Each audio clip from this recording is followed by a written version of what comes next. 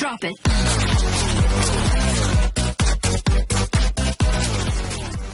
Alright, so welcome again on this video and uh, on this video ang discuss natin is, is yung uh, software installation. So before we proceed on this uh, topic, so may mga kailangan lang tayong mga uh, software. So we need first yung uh, Etcher. So you can download this Etcher on this uh, website. So, or if you can Google it, Etcher, then on this uh, press results. So you can download your software here. Okay. So I already have my uh, Etcher software. So this one, so extract lang natin. Then, install.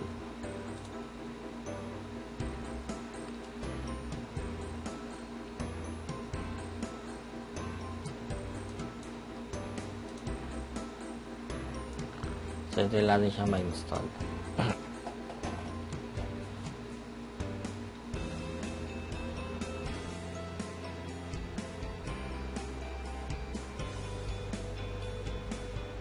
Okay, so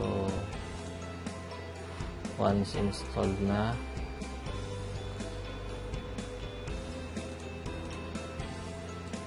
Okay, so Alright, so ito na siya ngayon. Ito na ating etcher.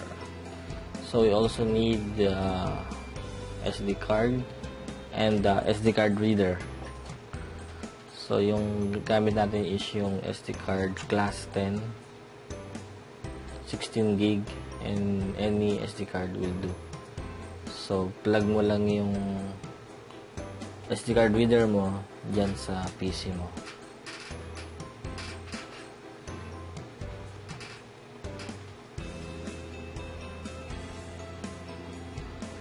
Okay, so then, then yung image is uh, download natin itong uh, software image na to available yan dito sa link description below. So open lang natin yan. Okay then plug lang natin ulit.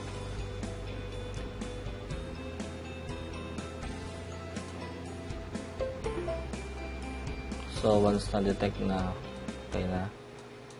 So yan press siya so walang laman. Then let's proceed to flash so click mo lang yung yes so in this uh, tutorial I'm using Windows 10 so wait mo lang siya ma- matapos hanggang till very end. Okay so um, flash lang siya. Then ipopost ko man tong video once na para makit para mas mabilis. Alright. I will be back after matapos nito So, we're back. So, ito na tayo ngayon. Uh, finishing. So, hintayin natin matapos. Then, meron pa siyang validating. So, mabilis na lang yan. At least, 2 uh, minutes or less. So, pause pagin muna natin para mabilis.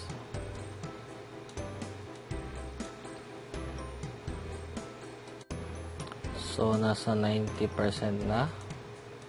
So, wait na natin ito.